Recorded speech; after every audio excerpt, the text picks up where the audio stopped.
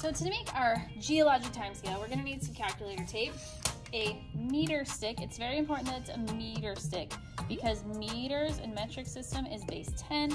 So we go from one all the way to 99 is marked and then 100 is over here. Um, just like centuries are uh, 100 years, centimeters are in hundreds. And so we're going to use this to help us to break our calculator tape up into different periods of time throughout geologic history. Um, I also have here a list of things where um, we have evidence of different organisms sort of appearing in the geologic timescale. Um, and we're going to need some scissors and a pencil. So here's our materials. To start out with, we're going to set the edge of our meter stick on the end of our calculator tape that's cut off nicely. And then I'm going to come down to the end of the meter stick and make a mark, okay?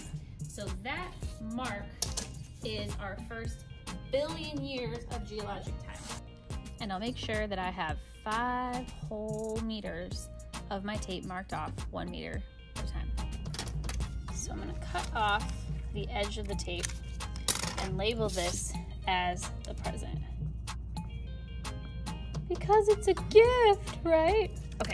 So now I need to cruise backwards and label my periods of time. So I'm going to take my meter stick and put it at the zero mark at present, right?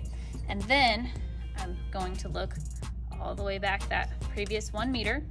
And when I get to the one meter mark, I'm gonna label that 1 billion years ago. Sometimes people will say BYA if you want to do billion years ago. Oh no, time is rolling on me. And then again, meter stick at the zero mark. And then 2 billion years ago. And then 3 billion years ago. And 4 billion years ago. And 5 billion years ago at those marks that you had made. We can see here that one meter represents a billion years in our model. Each of these little lines up here, right, is every 10 is going to represent 100 million years. And so we're gonna have 10 sets of 100 million years giving us a billion years. Then the smaller denotations in between each one centimeter mark is going to be 10 million years. So two is 20 million years and three is 30 million years, all the way till we get 10 tens is 100 million years. And then finally, we have the smallest little marks, each individual teeny tiny little millimeter, which stands for 1 million years. So next, I'm going to look at, I'm gonna work from oldest to youngest. You could certainly work from youngest to oldest if you wanted to, but here we can see that the formation of Earth 4,600 million years ago. Well, 4,600 million years is 4.6 billion years mathematically, right? Mmm, math, it's so delicious. So here I have 4 billion years ago that I'm gonna set the zero spot of my meter stick on. And then I need to go to 4.6. So that's gonna be here. And so at 4.6 billion years ago, BYA, it says Earth formed, okay? The next spot says 4,100 million years ago, which is another say to say 4.1 billion years ago. And so now I'm gonna move to 4.1, do, do, do, 4.1, and this is when we have the oldest rocks.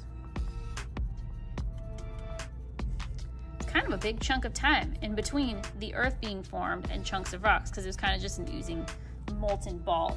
Okay, so now it says I need to move to the next one, 3,500 million years, which is 3.5 billion years. So I need to go to a completely different set of billions. I need to walk my meter stick back to the 3 million year ago mark to set my zero. And now I need 3.5 billion years. So that's gonna be right here. And at 3.5 billion years ago, we get the earliest fossil. They're super small, like almost unicellular kind of life. Um, it's algae. Algae. Like if you go look at a pond and it's got like a green foamy layer, that is algae. So that's the earliest fossil that we have. It's a fossil of algae 3.5 billion years ago. A full more than a billion years after the Earth was formed. That's a pretty long chunk of time. Okay, now we need to move to significant oxygen in the atmosphere. And boy howdy, that's at 1.5 billion years ago.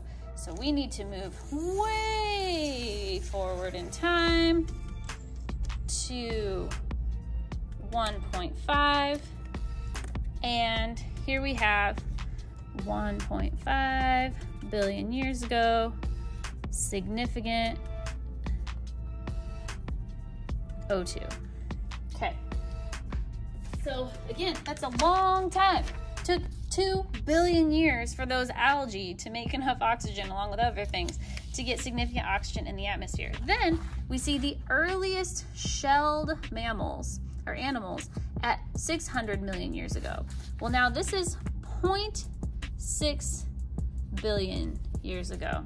So again, I've got to move way forward in time and the all of the rest of the work that we're going to do here is going to exist in this final billion years of our timeline so that you can really get an idea of how long the earth has been around and really the stuff that we like to even think about as happening exists in sort of this final million years.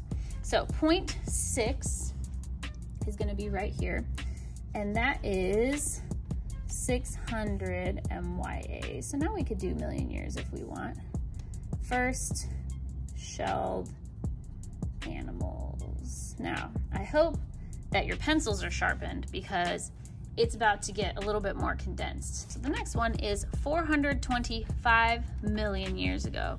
So I'm gonna cruise over to 42 and a half. So 425 million years ago. And we get the first plants. Whoop. Dude, that's crazy, right?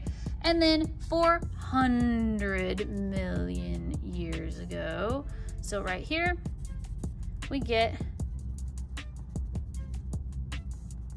trees. And then 380 million years ago, right? So it'll be 38 and then the zeros because we're dealing in billions here. Now things are gonna start getting kind of congested. So you might need to go 38, 380 million years ago, first amphibians. Okay, and then the next one is going to be 36, so 360 million years ago, is Pangea. Okay, so you're gonna work down the rest of your list, and basically you're going to be working this direction do, do, do, do, do, do, until you get all the way down here to this final link. So this final link, you're gonna go to the website and it's going to show you animals that have been on Earth longer than humans. Um, from that, you can see like the hippopotamus has been around 16 million years, and the kangaroo 20 million years, and the hyena 22 million years and 30 million years. And what I want you to do is take the last 100 million years and fill them in with the animals that have lived basically a lot longer than humans. So looking at the timeline that we have here, 2.5 million years ago for humans is gonna be like one, two little slashies, and so humans are gonna go here. And what you're probably gonna find is you're gonna need to write sideways on a lot of this, okay? Then we also have that it shows that the dinosaurs uh, went extinct at some point about 65 million years ago. So we're gonna go to 60, that little slashy mark in the middle is five. And then I would write dinosaur extinction 65 million years ago, okay?